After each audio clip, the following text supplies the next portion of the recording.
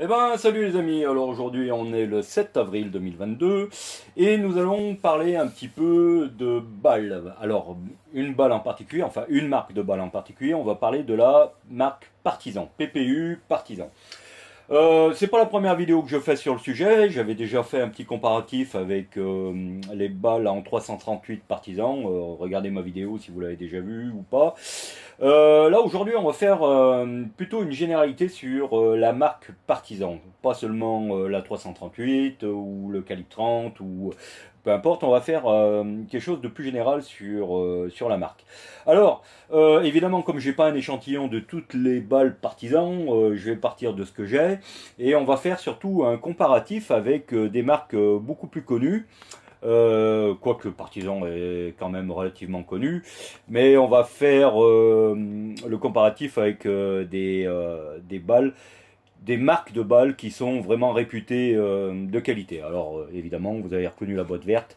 Donc on va comparer avec de la Sierra Match King, de la Onadi ELD Match, et évidemment ici dans le sachet de la PPU. Alors là c'est de la PPU 155 grains HPBT euh, Match. On va faire le petit comparatif. Donc, ce que je vais faire, je vais euh, peser 10 euh, balles de chaque marque. Hein. Alors, évidemment, elles sont pas toutes, euh, vous remarquerez, ça, il n'y a pas de souci. Vous remarquerez qu'elles sont pas toutes du même poids. Donc là, c'est de la 7 mm en 150 grains. Euh, ça, c'est de la 162, euh, 162 ELD match. Et là, on a de la calibre 30 en 155 HPBT euh, match. Euh, alors, c'est pas vraiment très important qu'elles soient pas toutes du, du même calibre et du même poids à la base pour comparer, puisque nous, ce qui nous intéresse, c'est l'extrême spread. En fait, on va, je vais le dire en français. On va faire 10, on va, on va peser 10 balles de chaque, et en fait, on va prendre euh, la plus basse et la plus haute, et puis on va faire la différence, ce qu'on appelle un extreme spread, la différence entre la plus haute et la plus basse. C'est pas une standard deviation, hein, euh, qui est euh, la standard deviation, je rappelle, c'est plus une moyenne sur un, sur un lot. voilà, en termes de probabilité. peu importe, c'était pas le but. Donc c'est ça qu'on va faire on va euh, faire euh, la différence sur ces trois, balles. On verra, euh, ça nous donnera une idée, ça nous donnera une idée de ce que vos partisans PPU en termes de régularité de poids. Alors évidemment, on va le faire que sur 10 balles par marque. Euh, est évident que si on voulait euh, faire avoir quelque chose de vraiment vraiment significatif, il faudrait faire euh, ce test sur une boîte de 100 par exemple. Hein. mais bon, imaginez bien déjà que déjà qu'on me dit que mes vidéos sont des fois un peu longues. imaginez si je m'amuse à peser 300 balles. Euh, là, on y prendrait l'après-midi, donc euh, voilà, donc c'est pas vraiment le but du truc. Bon, allez, euh, là, ça fait déjà 3 minutes que je, que je bavarde, et je, perds déjà du temps. ensuite, ce qu'on va faire après ce petit, cette petite pesée, on va, j'irai sur le site de PPU Partisan, on ira sur leur, leur site officiel, et je vous montrerai un petit truc que je suis à peu près certain que peu connaissent. Voilà. Euh, ou alors, je pense que je vais vous apprendre un petit truc euh, sur les, les, balles partisans et sur surtout euh, sur ce qu'on peut acheter en France. Voilà. Bon, allez, on va pas trop traîner, on y va. Donc ce que je vais faire déjà, alors vous voyez ici les balles, alors euh, balles partisans, euh, comme d'habitude, euh, c'est livré en, vrac, hein, il n'y a aucune note sur le sac. Lorsque vous les prenez, alors là c'est des lots de 500, moi j'ai pris un j'ai pris un, un 1000 comme on dit, donc il n'y a rien dessus. Vous notez que le sac, il n'y a aucune inscription. Alors c'est intéressant. Alors remarquez-le bien, notez-le bien parce qu'on en parlera tout à l'heure et c'est ça qui va être intéressant. Euh, alors que l'avantage avec euh, Match King, enfin avec Sierra et puis euh, Ornadi, bon bah vous avez une boîte, vous avez une référence. Euh, quand vous achetez la boîte, vous savez que dedans il y a ce qui est marqué sur la boîte. Alors là déjà j'ai commencé déjà à amorcer un petit peu la discussion de tout à l'heure là, vous, en, fait, euh, euh, vous avez un sachet et en fait, vous, vous avez aucune référence. Bon, allez, euh, on verra ça tout à l'heure. Alors, ce que je vais faire, je vais prendre 10 balles de chez Partisan. Voilà, j'ai pris 10 balles au hasard dans le sac. Je vais les mettre dans la petite coupelle ici. 1, 2, 3, 4, 5, 6, 7, 8, 9 et 10. Comme ça, voilà. On est sûr que c'est euh, le fruit du hasard. J'ai pris en vrac. Alors, si ça veut bien retourner dans le sac, sans mettre de partout. Hop, voilà. Allez, on va commencer. Alors, la dernière fois que j'avais fait un test, j'avais fait les pesées en grammes. Euh, là, on va les faire en grains, tout simplement. Et puis, on verra ce qui nous intéresse. Donc, euh, on aura deux chiffres après euh, la virgule, donc en centièmes de grains, hein, puisque ma balance, la Gem Pro, me permet de le faire. Et puis, on verra un petit peu le résultat. Allez, c'est parti. Je commence par les PPU. la première. Alors, ça va être, ça va prendre le temps que ça prendra. Maintenant, si vous voulez aller directement au résultat, allez-y. Avancez à la vidéo. 155,30. Ok. Hop.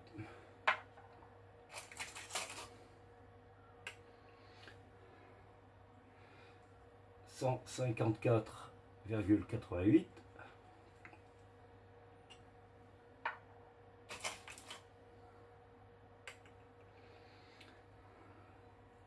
Cent cinquante-cinq virgule quarante-quatre.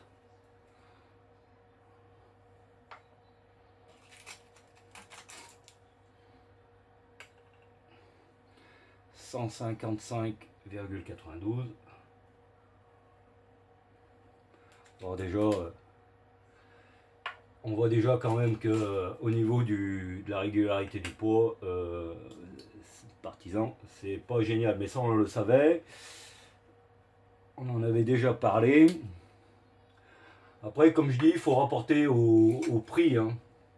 La qualité, il faut rapporter la qualité au prix. 155,74.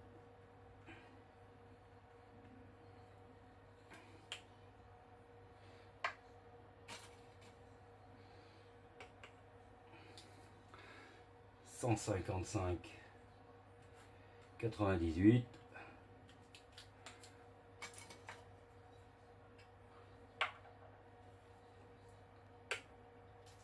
155 72 Bon déjà ce qui est bien, elles font au moins 155 C'est déjà pas si mal. 155 76 et la dernière.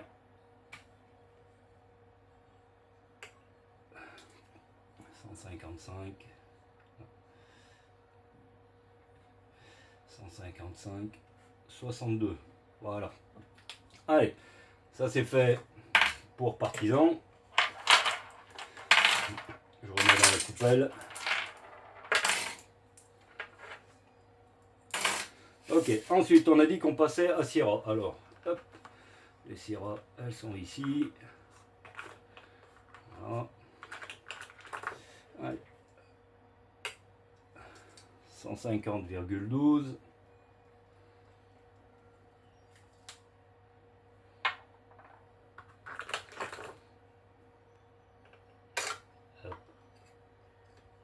Reste droite. Je mets un petit coup de terre. Ah.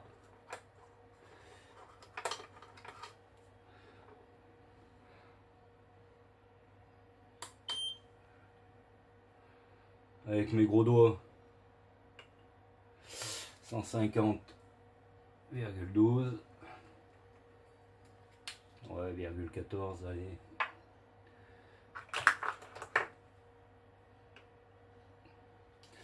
150 20, 22, 20. Oh, c'est comme tu veux. Hein. Ah. Bon, ben, déjà, on s'en doute un petit peu. Hein. 150,20.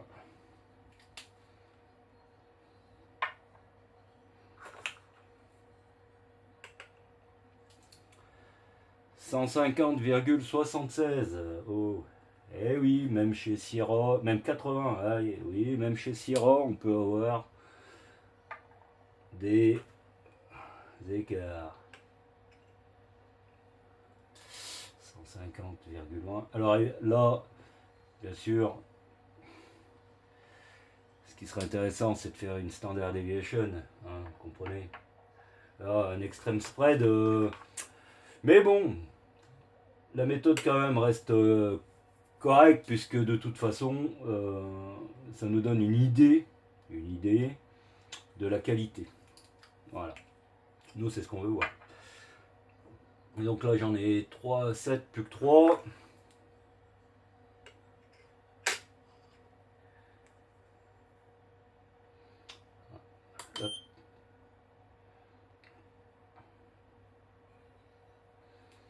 150,86, 84, 150,84. Hein? Eh ouais, comme quoi. Hein. Donc là, 3 et 3, 6 et 2, 8. Allez, encore 2. 150,12. 14. 16, 14, tu fais comme tu veux. Ouais, en fait, c'est parce que je suis en train d'écrire sur le. Euh, comme je suis en train d'écrire sur le, sur le bureau, euh, forcément, euh, ça fait jouer un petit peu la. La balance est tellement sensible que. On va laisser. Voilà. Alors, 150,16 vendu. Ok. Voilà pour sirop.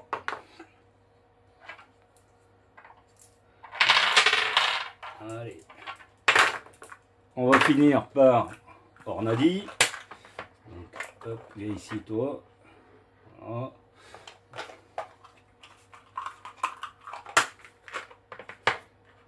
Vu que j'ai bougé la balance.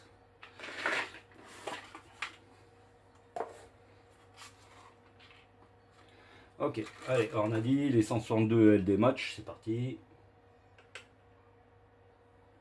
Alors, 162,08. 62 08 ok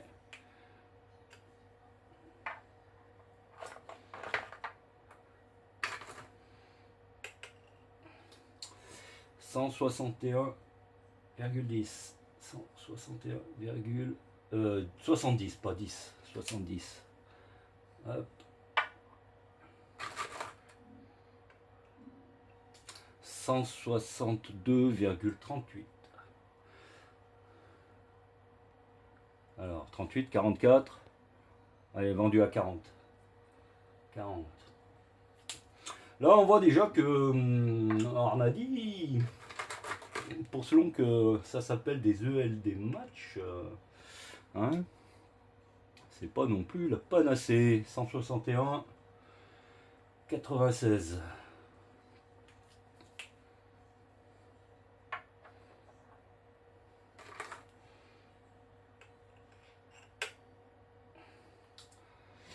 162, 28.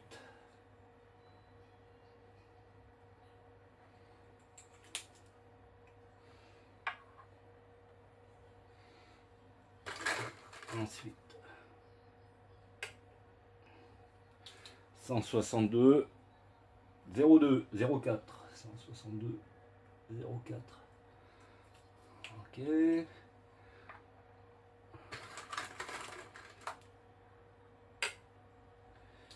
161 88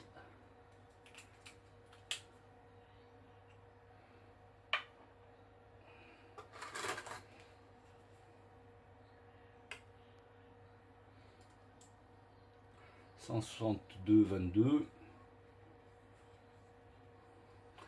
ok alors comme j'ai de mesure 3 6 8 euh, oui, c'est ça. 3, 6, 8. Voilà, c'est 2. 161, 74. Allez, la dernière.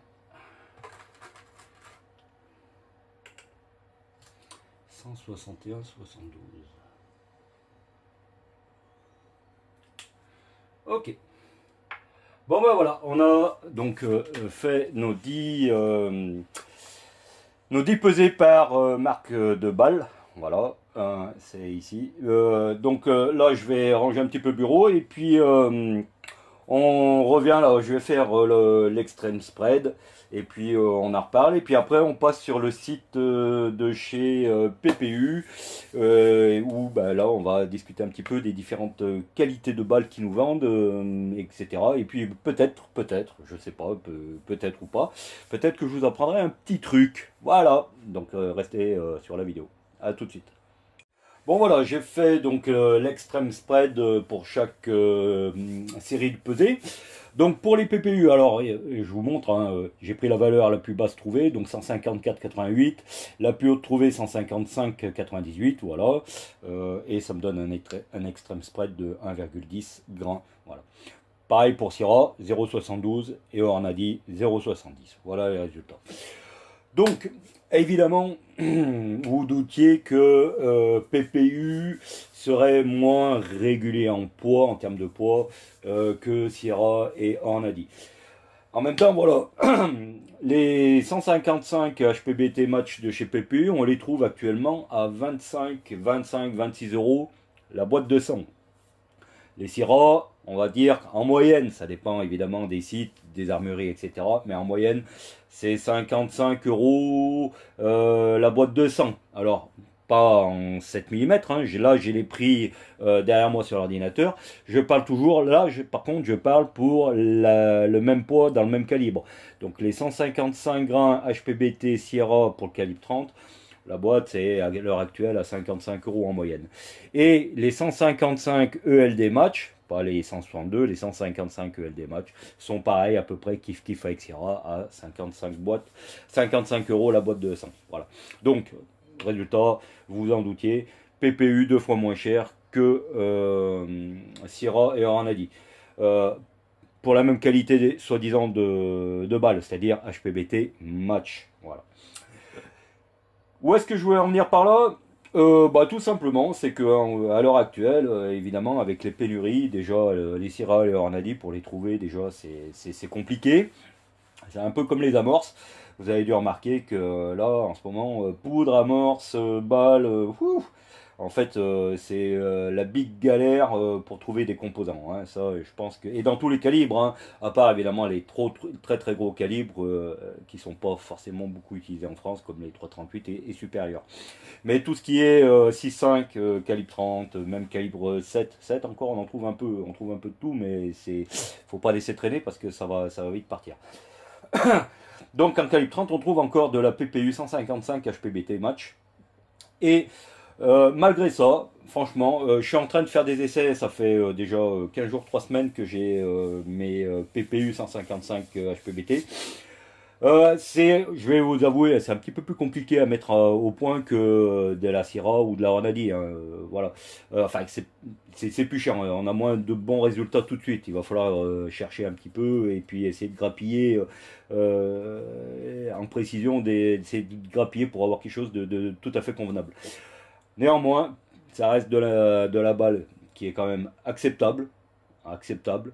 Euh, je dis pas qu'on fera du trou d'un trou à 100 mètres, d'autant plus que, bon, euh, vous le savez, j'ai pas euh, ma Savage Axis, c'est une, carabine à 500, 550 euros neuve, donc forcément c'est pas un canon match, mais voilà, donc c'est pas mal.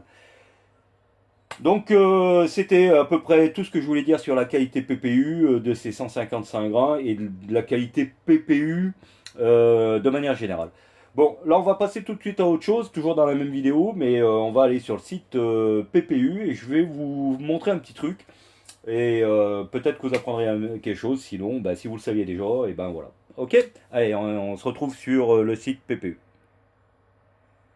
Bon voilà, on est devant le hum, site euh, donc de chez euh, Partisan PPU, voilà.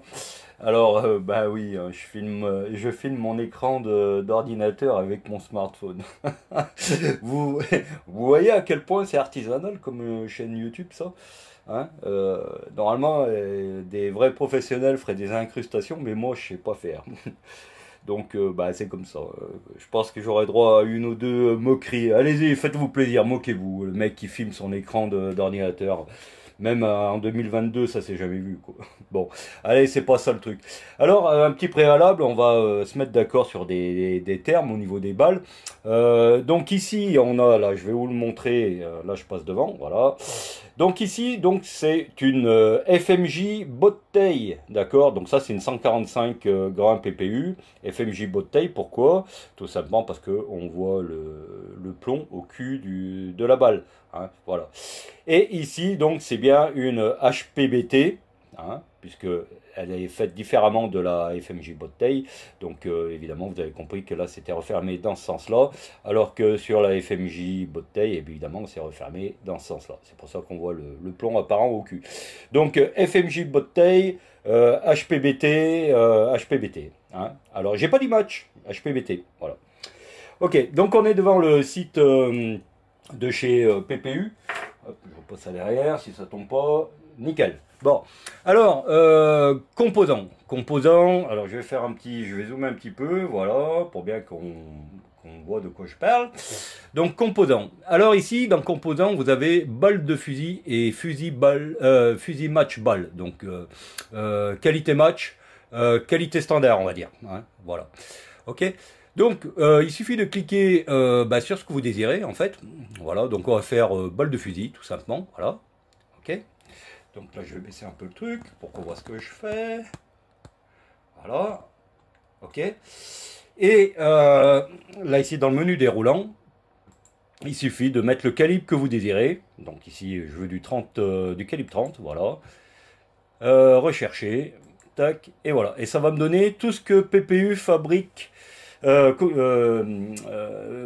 tout ce que PPU fabrique dans ce calibre. Ok, voilà. Allez, on va. J'ai déjà ouvert les pages qui correspondent. Et on va vite. Je vais vite aller à l'essentiel de ce que je voulais vous dire. Alors là, il faudrait que je fasse ça. Voilà, pour avoir une meilleure. De toute façon, je pense que si vous allez sur le site PPU, euh, vous allez voir euh, exactement ce que je veux vous dire. Alors, euh, ici on a les types de balles, donc FMJ, FMJ, FMJ, FMJ bouteille, etc. Ça, ça ne nous intéresse pas, c'est pas ce qu'on veut voir. Nous, ce qui nous intéresse, c'est le HPBT. Donc HPBT en calibre 30, voilà, donc vous avez de la 190 grains ici, voilà, 190 grains, en dessous 175 grains et 168 grains. C'est tout ce que vous avez en HPBT, ok? Notez que vous n'avez pas les 155 grains, ok? Donc là, on est sur le tableau de la qualité standard, on va dire. C'est pas, pas considéré comme match chez, euh, euh, chez PPU. Hein. Et évidemment, vous avez des, euh, des références qui correspondent à, à, ces balles.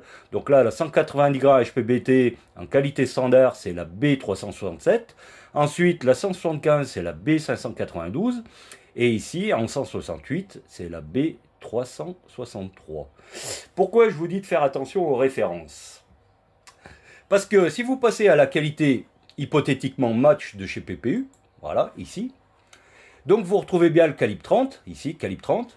Alors, je ne sais pas ce qu'elle fout, une FMJ euh, bouteille euh, dans la qualité match. Alors ça, j'ai un peu de mal à comprendre.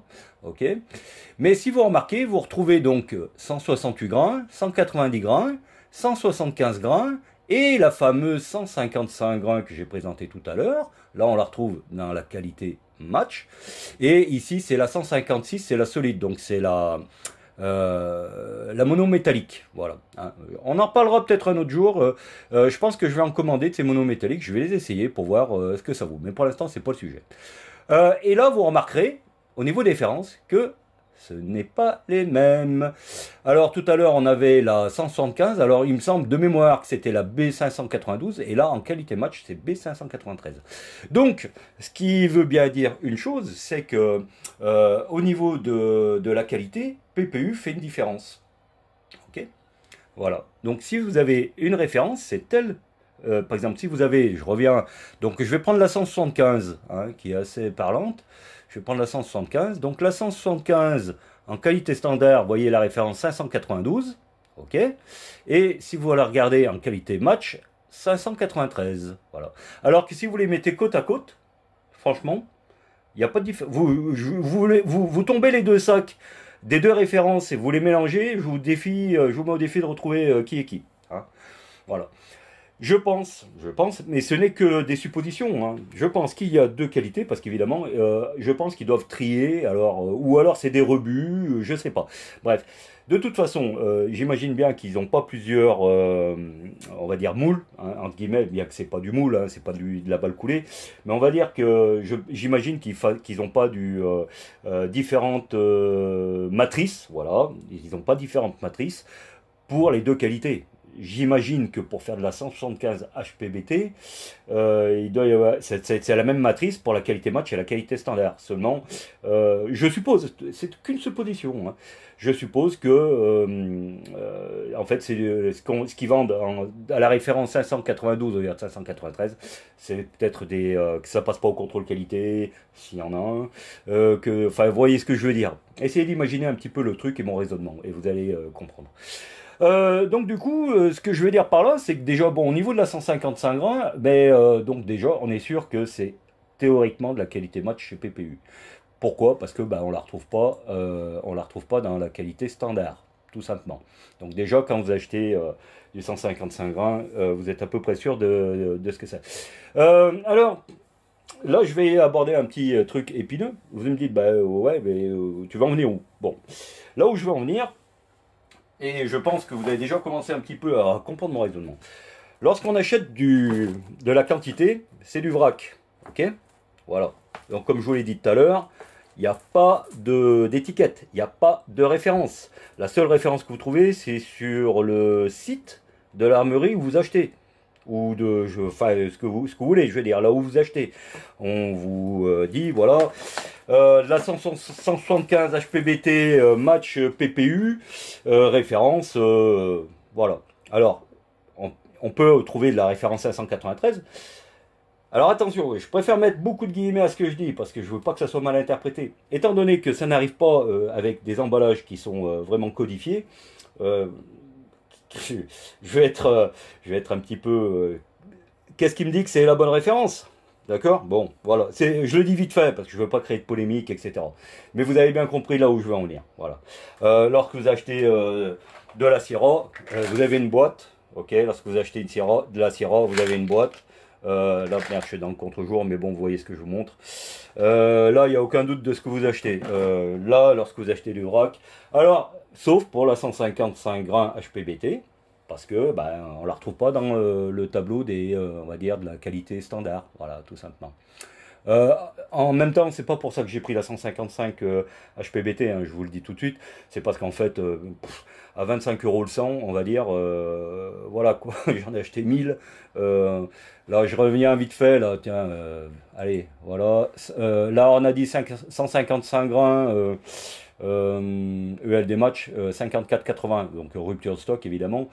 Euh, et là, là 155 grains HPBT de chez Syrah, 58,50 euros. J'ai même pas besoin de donner le, nom du magasin, vous l'avez reconnu. Voilà. Ok. Donc voilà euh, ce que je voulais vous montrer sur ces différentes qualités.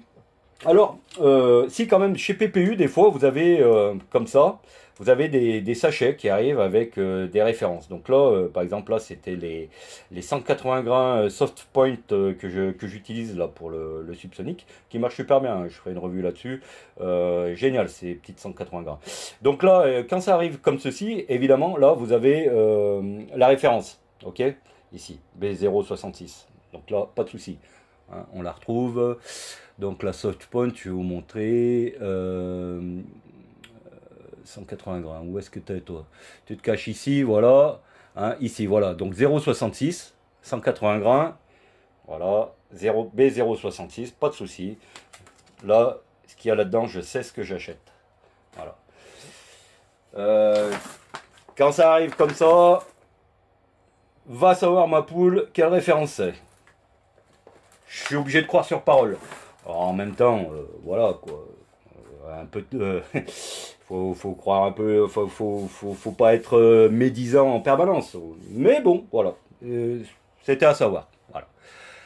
Et ben voilà les amis. Euh, pour terminer cette petite vidéo, je vais vite fait vous montrer deux trois cartons de ce que j'ai commencé à faire avec cette 155 grains HPBT match de chez PPU. bon, et hein, je refais vite voir le, tableau. Hein. Bon, qualité match, IHA, hein, par rapport aux autres marques. Mais bon, on va quand même réussir à en faire quelque chose. c'est pas si dégueulasse que ça. Et je le répéterai jamais assez. 25 balles le sang. Voilà. Allez, on va aller voir sur quelques cibles et puis après on arrête cette vidéo. Bon, ben pour terminer cette vidéo sur les balles PPU, de manière générale, je vais vous présenter deux trois petits cartons. Euh, alors ici en haut, j'ai commencé un petit peu de la 145 grammes PPU. Alors c'est de la FMJ bouteille, hein, c'est vraiment la, la balle euh, vraiment pas chère. Euh, là, je l'avais, j'ai commencé avec de la N133. Pourquoi de la N133 Vous allez me dire? Je sais qu'il y en a qui vont me dire oui, euh, N133, c'est pas super adapté au calibre 30 dans cette gamme de, de poids de balle. L'idéal, ça serait N135, N140. Euh, pourquoi j'ai fait que la N133 ben, Parce que tout simplement, il me restait un bidon de N133 de l'époque où je tirais en 708. Voilà. Euh, donc c'est pour ça. Bon, bah, en fait, c'est plus pour, on va dire, faire des cartouches pour chauffer le canon le matin quand on arrive au stand. Donc là, les 145 grains, bon, vous voyez un petit peu, c'est normal, c'est de la 145 grains FMJ bouteille. Donc vous voyez, c'est un arrosoir. En dessous, le, les premier euh, chargement, alors euh, je me trompe de cible, c'est pas euh, si, c'est cela, oui, si, si. Donc j'avais commencé un petit peu haut, à 2,85, voilà, 2,85 de RS50 avec les 155, vous voyez, vous voyez un petit peu les, résultats. Alors à 2,85, c'est pas mal, 2,85, 2,86, hein, j'étais tout de suite tombé à peu près sur quelque chose qui, qui, qui était pas si mal que ça. Euh, ensuite, à 2,86, 2,87 euh, ici, 2,87 là, bon, euh, ça commence à être pas trop génial. les vitesses, par contre, les vitesses sont pas géniales. Les vitesses sont pas géniales. J'ai un petit souci de ce côté-là. alors, je, je vais voir la prochaine fois que je vais faire des essais de cette balle. Je vais essayer de la mettre au point. Je vais. Il me reste quelques amorces CCI, dont des BR2. Euh, c'est les amorces que je garde dans le coffre à côté des lingots d'or parce que euh, les CCI BR2 euh, en large riff, enfin de toute façon CCI BR2 c'est forcément du large riff. là, celle-là elle valent de l'or maintenant. donc j'en ai quelques-unes. Alors pour voir si mon problème de, de, de, vitesse est dû aux amorces, parce que là pour l'instant j'utilise de la Winchester à pas cher. Et il me reste après de la Celibello qui est encore moins cher. Donc euh, je voulais voir. Donc on verra tout, on verra après. Euh, allez, on continue. Donc ici à 2,88 euh, donc en haut, voilà 2,88. 2,88, là ça commence un peu à ouvrir, vous voyez, 2,88, là ça commence à ouvrir. 2,89, là, bon, c'est pareil, c'est pas génial. ensuite, alors qu'est-ce qu'on a en dessous? On a de la 180 grains soft point. Euh, là, j'avais fait 0,67 et 0,69 qui va être ma charge définitive pour cette euh, balle. Vous voyez le groupement. Euh, les vitesses sont très très bien. Ensuite, j'avais fait 0,71 avec toujours la 180 grains. Donc là, moins bien déjà. Ici, la 170 grains avec 0,65. Bon, les vitesses étaient correctes, mais bon, le groupement pas génial. Voilà. Ok Allez, on passe à la suite. Qu'est-ce que j'ai d'autre? Alors ça, c'était le 26, le 2603. Ensuite, euh, le 204, donc c'est plus récent. Euh, donc là, j'avais refait, euh, j'étais reparti un peu plus bas avec toujours la PU 155 grains, donc à 2,74 ici, deux séries de 5, 2,77, 2,80. Et là, j'avais fait un essai. Il me restait de la N140, mais très très peu de N140. Donc du coup, j'ai fait 2,80 de N140 euh, donc j'ai fait la, même cartouche, mais juste en changeant la poudre. Voilà. alors ce qui est marrant, c'est qu'au niveau des vitesses, euh, il y a avec la N140 20 mètres secondes par rapport à la RS50 qui est donc là sur euh, là c'est la même cartouche hein, c'est la même cartouche. La seule chose qui change c'est que là il y a de la RS50 et ici c'est de la N140 alors ce qui est je, je, le note au passage parce que bien souvent on nous dit que la RS50 c'est l'équivalent de la N140 euh, bon, bah écoutez, euh, vous voyez que euh, il y a 20 mètres secondes d'écart sur sur ces deux poudres. Voilà, donc c'est à prendre en compte. Hein. la plupart du temps, on se base sur la table, sur les tables Vicky de N140 pour développer les RS50. à savoir quand même que là, il y a 20 mètres secondes pour la même cartouche. Euh, ensuite, qu'est-ce qu'on a ici euh, Toujours pareil, ça c'était le 204. Donc là, euh, les 180 grains soft point avec 0,69. Là, j'ai fait trois séries. Donc notez au passage les groupements. hein. Voilà. Euh, donc là, il y en a 5, là, il y en a 5, là, il y en a 5. Les vitesses, euh, 330, on va dire 330, 330 mètres secondes. hein. Euh, J'avais aussi, là, alors là, la 165 HN, euh, j'essaye de refaire quelque chose de, plus propre parce que bon, jusqu'à présent, j'avais euh, tiré la chaîne 165 dans du 300 Savage. J'avais une RS1 en 300 Savage avant et euh, donc euh, à 0,50 de, de A0. 0,50 de A0, ça me donnait des très très bons résultats dans ma RS100. Euh, là, je suis plus en 300 Savage, je suis en 308. Euh, le canon est plus court que ma RS1, le canon est 18 pouces. Euh, sur la RS1, j'avais un 24 pouces, donc ça fait une différence aussi. Donc là, il va falloir que j'augmente un petit peu ma charge de, de A0 pour la 165 grammes. Donc là, je suis, parti à 0,52, 0,53, 0,54. À 0,54, je suis toujours à 300, on va dire 315, 318, 316, 316. Et les groupements sont pas folichons. hein. Voilà. Euh, évidemment, euh, l'idéal, c'est d'arriver au groupement de la 180 grains. Euh, donc là, il va falloir que j'augmente un peu ma vitesse. C'est ce que je vais faire la prochaine fois. Alors, l'idéal, euh, ça serait que j'arrive au même groupement et aux mêmes vitesses avec euh, la 165 grains euh, HN. Pourquoi Pour la bonne et simple raison, c'est toujours budgétaire. Les 165 grains euh, HN, c'est à peu près 80 euros le, paquet de 500. Voilà. Donc euh, ça fait de l'avantage, c'est que ça fait une cartouche euh, qui est pas chère à recharger. Euh, la 180 PPU est déjà un peu plus chère au 100. Euh, je crois que euh, chez euh, Hunting Sport, euh, je l'ai touché à 29 ou 30 euros, 30 euros le paquet de 100, ce qui est, même plus cher que la 155 grains euh, HPBT. Voilà. Donc euh, là, ça me fait quand même une cartouche qui est super. Voilà. Donc euh, en, subsonique super, génial, mais un peu plus cher à recharger qu'avec la 165 grammes. C'est pour ça que j'aimerais arriver au même résultat avec celle-là et arriver au même résultat qu'avec la 180 grammes. Bon ben voilà les gars, euh, la, la vidéo se termine là. Euh, bah, J'espère que ça vous aura plu. Si vous voulez partager avec vos amis, parce qu'il y a quand même des, des euh, je pense à vous avoir donné des petits trucs intéressants quand même. Euh, donc n'hésitez pas à la partager, à la liker, etc. Et puis voilà. Et puis comme je vous dis toujours, santé. Prospérité Voilà. Allez à plus les gars, ciao.